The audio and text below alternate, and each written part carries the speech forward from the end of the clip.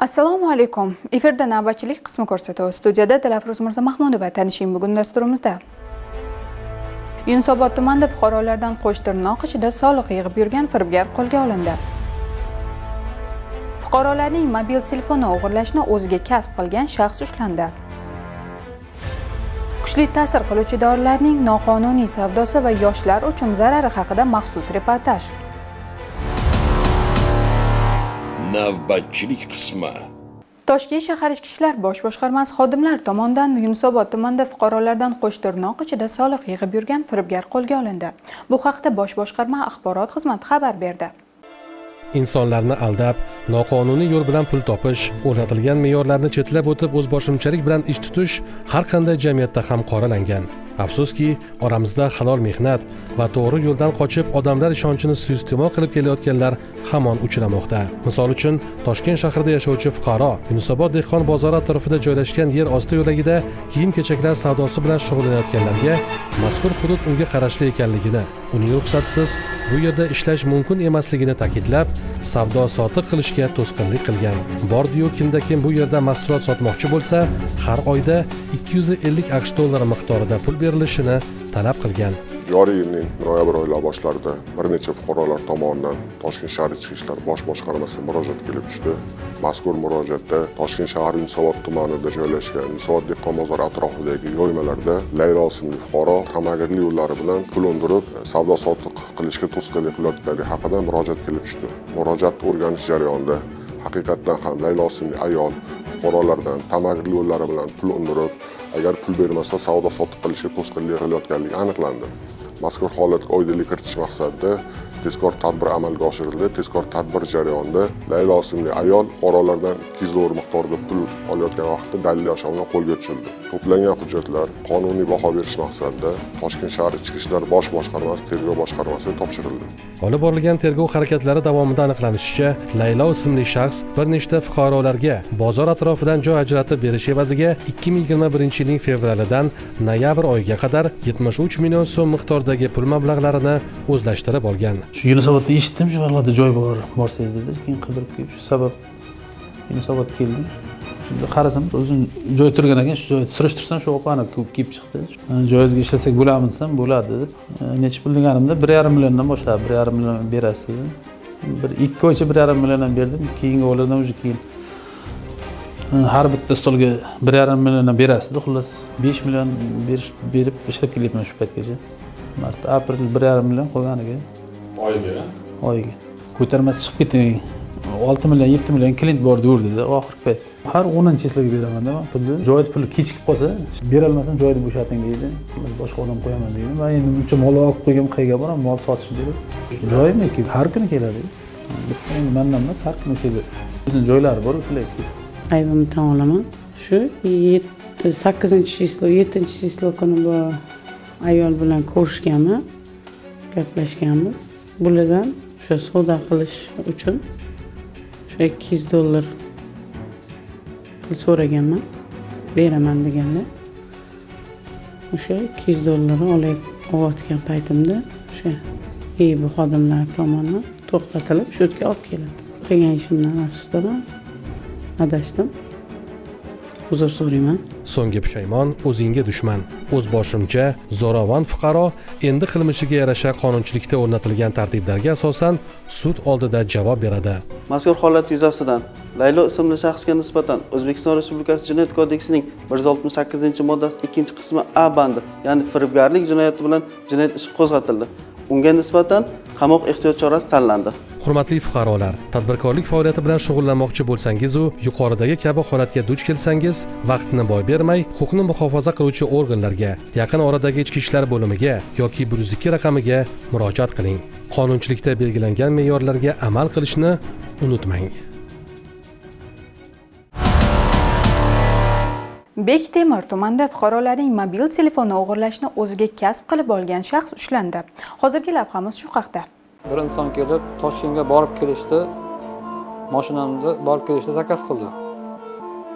Man договор qilib bo'pti deb keldim toshkentgacha. Qo'yliqda tushdida telefoningizni berib turing dedi. Ho'p aka endi telefonni berdim endi. Telefon qilgan paytim mashinalarni artdim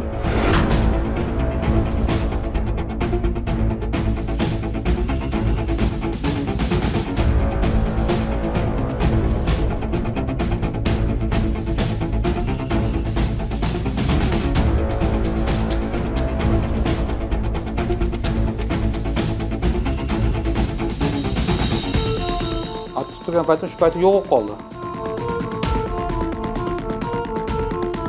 keyin telefon qilsam сразу o'chirilgan. Shundan keyin telefonni olib ketganini bilib qoldim. Keyin ichki ishlar xodimlariga murojaat qildim. Shuncha harakat qilib telefonimni topib berishdi jinoyatchini ushlashdi. Ichki ishlar xodimlariga o'z minnatdorchiligimni bildiraman. Katta rahmat. Shu telefonini begona insonlarga berma bermaslik ishonib bermasligini maslahat beraman. Bir necha oy mobaynida poytaxtimizning ayrim tumanlarida firibgarlik jinoyatini sodir etib kelganlikda gumonlanuvchi noma'lum shaxs joriy yilning 4 noyabr kuni bektemir tumani ichki ishlar organlari faoliyatini muvofiqlashtirish boshqarmasi jinoyat qidiruv bo'limi xodimlari tomonidan qo'lga olindi. Bektemir tuman ichki ishlar organlari faoliyatini muvofiqlashtirish boshqarmasi navbatchilik qismiga fuqarolar tomonidan sherzod ismli shaxs ularni mulklarini ishonchiga kirish yo'li bilan telefon apparatlari hamda qimmatbaho mulklarni qo'lga olayotganligi haqida bir necha bor o'xshash xabarlar kelib tushdi. Hamda bu jinoyat qidiruv xodimlari tomonidan ushbu shaxsni qo'lga olishga qaratilgan chora tadbirlar amalga oshirildi. Hamda ko'rilgan chora tadbirlar davomida ushbu shaxsning yashash manzili yangiyo'l tumanida ekanligi aniqlandi. Hamda ko'rilgan chora tadbirlar natijasida ushbu shaxsni toshkent viloyati zangiota tumani hududidan qo'lga olindi. Hamda bektemir tumani ichki ishlar organlari faoliyatini muvofiqlashtirish boshqarmasi huzuridagi tergov bo'limiga qonuniy qaror qabul qilish uchun yetkazib berildi. Tergov harakatlarini olib borish jarayonida bizni suratga olish guruhimiz jinoyat sodir bo'lgan joyiga chiqdi. O'zbekiston respublikasini jinoyat kodeksining bir yuz oltmish sakkizinchi moddasi bilan qadam uch marotaba sudlanganman jizzax shahriga borib haydovchidan toshkent shahrida qo'yliq dehqon bozoriga borib kechirim so'radim. Bozorga kelgandan so'ng bozor oldida to'xtadim. Besh o'n metr yurib yana qaytib shofyordan qo'l telefonidan foydalanib turish uchun telefonni so'rab turdim.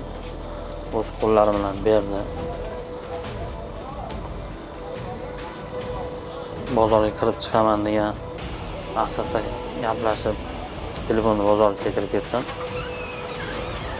Ichkariga kirib darvoza narigi tarafidan chiqib ketdim telefonlarni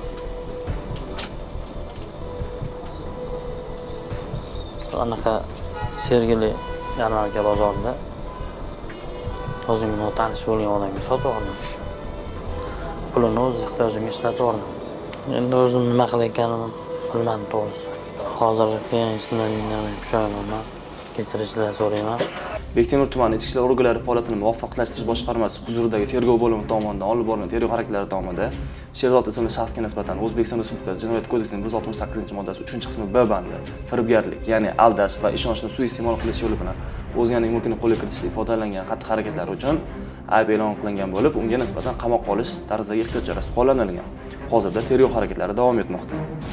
Afsuski sherzod muqaddam bir necha bor sudlangan bo'lsa-da shu kunga qadar u o'ziga to'g'ri xulosa chiqarmadi. Sherzod muqaddam sodir etgan jinoyatlari uchun sud tomonidan o'ta xavfli retsidivist deb topilgan. Endilikda o'zbekiston qonunchiligiga ko'ra unga nisbatan 10 yilgacha ozodlikdan mahrum qilish jazosi tayinlanishi mumkin.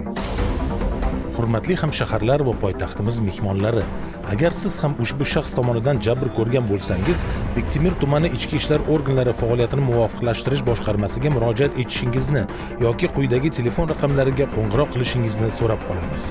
Har doim hushyor va ogoh bo'ling.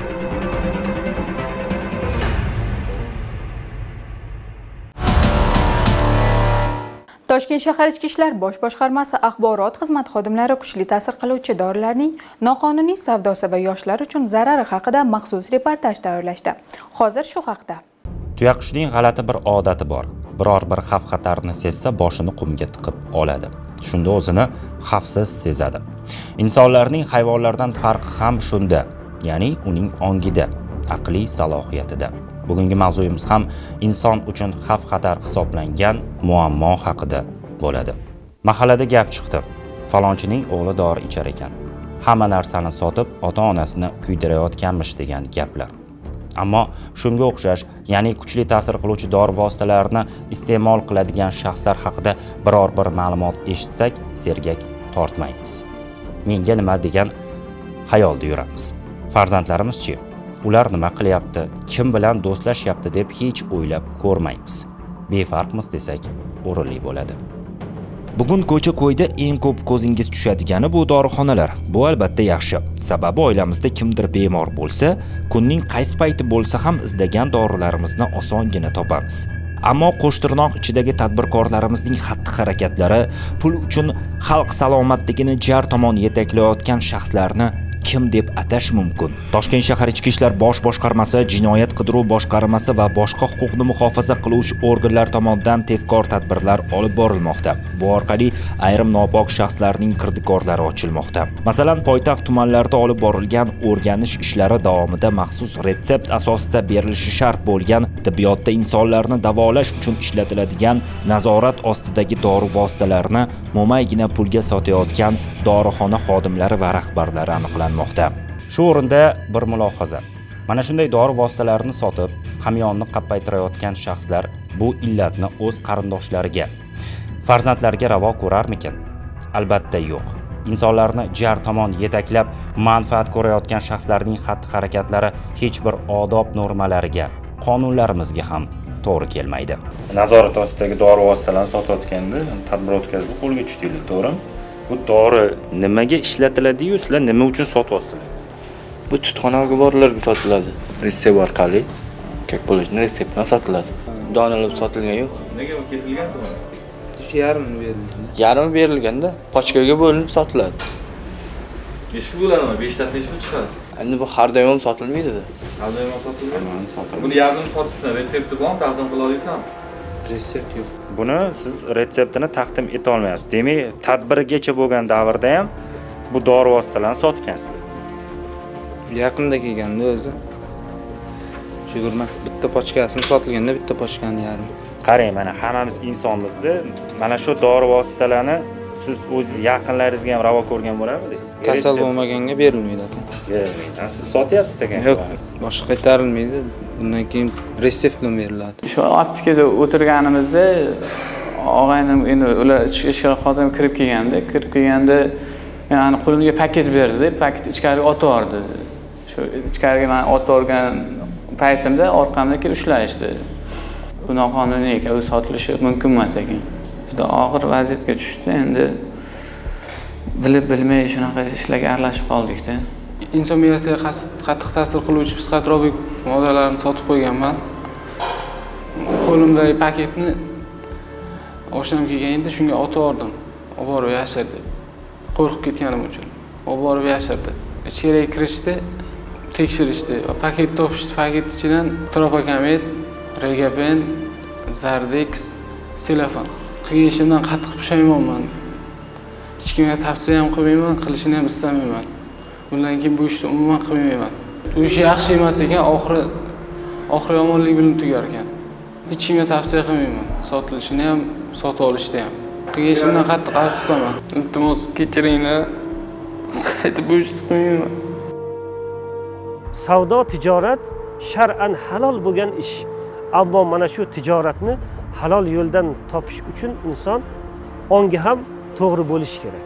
Ammo mana shu yoshlarga ziyon yetkazadigan tabletka bormi yoki giyohvand moddalari bormi uni tijorati bilan shug'ullanayotganlar nima deymiz ular haqida? Payg'ambar alayhissalotu vassalom nima dedilar? Al mu'minu man salimal mu'minu min lisanihi va yadihi. Payg'ambar alayhissalotu vassalom ushbu hadisda aytyaptilarki musulmon odam shundayki mo'min musulmon shunday odamki undan boshqa mo'minlar boshqa insonlar na qo'lidan va na tilidan ziyon topmaydi. Payg'ambar alayhissalotu vassalom bu hadislari bilan mana shu o'z qo'llari bilan boshqa insonlarni hayotiga zomin bo'layotgan zomin bo'layotgan qo'li bilan ziyon ziyon yetkazayotgan tijorati bilan ziyon yetkazayotgan insonlarni musulmon emasligini aytyapti ma'lumot uchun toshkent shahrida olib borilgan tezkor tadbirlar natijasida aniqlangan holatlar yuzasidan o'zbekiston respublikasi jinoyat kodeksining 251 prim 1 moddasi bilan jinoyat ishlari qo'zg'atilgan. Ko'cha ko'yda yurgan yigit qizlarni ko'rib havasingiz keladi. Qo'lida qimmat telefon tagida so'nggi rusumdagi mashina. Ammo to'qlikka sho'xlik deganlaridek ular bilan gaplashsangiz aniqrog'i yaqindan tanishsangiz kuchli ta'sir qiluvchi dori vositalariga o'rganib qolganini sezasiz. Anglash qiyin emas. Kuchli ta'sir qiluvchi dori vositalari tibbiyotda qaysidir kasalliklarda qo'llaniladi o'zi. Lekin buni sog'lom organizm qabul qilganida o'ziga yarasha zararli xususiyatga ega. Birinchi navbatda bu zahar hisoblanadi. Har bir organizmga kirgandan keyin bu dori vositasi o'zini nojo'ya salbiy ta'sirlarini ko'rsata boshlaydi. Kuchli ta'sir qiluvchi dori vositalarini qo'llaganda kasallarga ham ya'ni bemorlarga qo'llaganda ham uni dozasi hisoblab chiqib Э, tana og'irligiga mos holatda yoshiga mos holatda tavsiya qilinadi shifokor tomonidan. Lekin afsuski buni iste'mol qiladigan insonlar hech qanaqa tana og'irligi yoki yoshi yoki bo'lmasa boshqa tomonlama inobatga olmagan holatda buni tushunmagan holatda iste'mol qilishadi. Alloh taolo qur'oni karimning ikkinchi surasi ya'ni baqara surasini bir yuz to'qson beshinchi oyatida marhamat qilib aytadiki vala tulqu bi aydikum ila tahluka. Ya'ni o'z qo'lingiz bilan o'zingizni halokatga yo'liqtirmang deydi. Shunday ekan bandaga olloh yaxshiligini istab turibdi. Bandaga olloh shukur qilishi uchun shukur qilishi kerak bo'lgan juda ko'p ne'matlarni berib turibdi ammo biz qayoqqa qarab ketyapmiz? Shunday ekan bugungi yoshlarimiz asli o'zi insonlarni dardiga davo bo'lishi mumkin bo'lgan har xil tabletkalardan har xil dorilardan boshqacha foydalanib undan rohatlanish holatlariga o'tyapti. Bu dori vositani iste'mol qilmagan paytda ikki xil e, tobelik yoki bo'lmasa qaramlilik kelib chiqadi. Birinchisi bu ruhan ikkinchisi jismonan. Ko'pgina holatlarda jismonan tobelikni shifokor tomonidan masalan bir haftada davolasa bo'ladi. Qaysidir ma'noda bu dori vositani iste'mol qilmaganda organizmda bo'ladigan ko'p terlashlar holsizlik ishtaha yo'qligi yoki bo'lmasa oyoqlarda qo'llarda yoki bo'g'imlarda og'riqlarni shifokor bir haftada davolasa bo'ladi. Eng achinarli holati bu ruhiy tobelik hisoblanadi. Ruhiy tobelikni e, kerak bo'lsa bir umr umuman olganda e, mana shu insonni hayoti davomida davolashga to'g'ri keladi. Regapen selofen zardex. Bu dorilar aslida dorixonalarda ham retsept asosida berilishi shart. Ammo bu tabletkalarni iste'mol qilayotganlar kundan kunga dozani oshirib o'zlarini jar tomon yetaklab bormoqda. Ma'lumotlarga ko'ra kuchli ta'sir qiluvchi dorilarni qabul qilgan shaxs oxir oqibat 42 ta tabletka ichishi mumkin. So'ngra yurak bunga bardosh bera olmay turli xurujlar yuz beradi. Inson vafot etadi. Man o'zim hayot davomida masalan amaliyotda bemorlar kelganida o'ylashadi bu oddiy dori vositasiku bu burunga sepaman xolos man buni ichmayman yoki bo'lmasa inyektsionniy holatda qabul qilmayman. Buni organizmga ta'siri unchalik emas man bemalol bu yo'ldan chiqib keta olaman degan e, murojaatlarni qilishadi. Juda yam katta ta'sir ko'rsatadi chunki har bir qon tomir orqali so'rilgan hamma dori vositasi bu ichki organizmni o'tadi jigar faoliyatiga buyrak faoliyatiga yurak sohasiga ko'pgina holatlarda yurak sohasida katta o'zgarishlarga olib keladi. Kuchli ta'sir qiluvchi moddalar yoshlarni jar tomon yetaklamoqda deyishimizga yana bir asos bor. Chunki bu dori uchun barcha ishga tayyor bo'lgan shaxslar turli jinoyatlarga qo'l urmoqda. Xususan o'g'irlik talonchilik bosqinchilik firibgarlik avtomobil olib qochish shular jumlasidandir. Ayollar va qizlar o'rtasida esa bu dorilar uchun hatto tanasini sotib fohishalik qilishgacha yetganlari bor. Misol qilib aytishimiz mumkinki shayxontohur tumani ichki ishlar organlari faoliyatini muvofiqlashtirish boshqarmasi to'rtinchi sonli ichki ishlar bo'limi tergov bo'linmasi tergovchisining ma'lum qilishicha ikki nafar shaxs kuchli ta'sir qiluvchi dori vositalarini iste'mol qilib jinoyat ko'chasiga kirgan. Ular dorini sotib olish uchun sharmandali jinoyat bo'lgan o'g'irlikka qo'l urgan. Chorsi bozor atrofida psixotrop modda ta'sirida e, tanishim ulug'bek bilan taksi to'xtatdik. Taksi to'xtatib durishbekga olib borib kelasizmi dedik. U noma'lum bo'lgan shaxsni mashinasiga o'tirib taksini to'xtatdik. To'xtatsak telefoni bor ekan. Sardor chalg'itdi man oldim просто mana shu tabletkani gapida mana shunaqa qilib qo'ydik o'zi to'g'risini desam uni boshida mast bo'lib aylanadi odamni qo'rqmas olgani qo'rqasizku baribir. Ushlab olishi bor nima qilasan o'sha ahvolda bilmasdan olib qo'ydi. Hozir psixotrop moddalarni qabul qilishga pulimiz yo'q edi bugun biz jamiyatimizda uchrayotgan muammolardan biriga nazar tashladik tahlil qildik. Xulosani sizga qoldirdik. Ota onalar ham farzand tarbiyasiga e'tiborli bo'lar sergak tortar. Qo'shtirnoq ichidagi tadbirkorlar ham o'zini tiyib olar degan umiddamiz. Zero kim qonunni buzsa kuni kelib unga albatta javob beradi.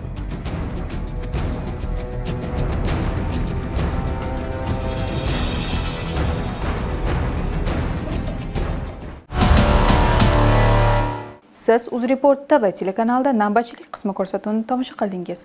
Kelasi ko'rsatuvimizda ko'rishguncha xayr salomat bo'ling.